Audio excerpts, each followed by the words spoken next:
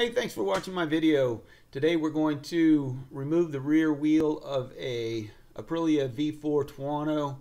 Uh, this is probably one of the coolest bikes on the planet.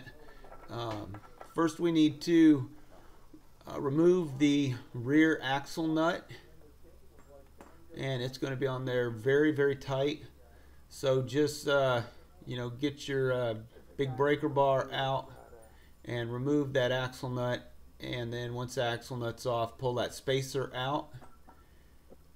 And then you should be able to give that axle a couple whacks with the palm of your hand and it'll slide out.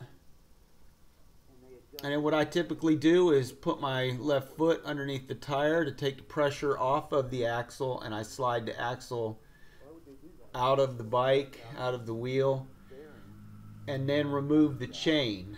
So once the axle's out, you can push the rear wheel forward a little bit to get some slack in the chain, uh, pull it off the sprocket, and then as you're lifting the rear wheel out of the swing arm, uh, you want to slide the caliper off of the brake rotor uh, and be very careful not to scratch the wheel. Very important. So once we got the wheel off, we want to pull the spacer off. We put the right side spacer on the right side of the bike so we don't get them mixed up.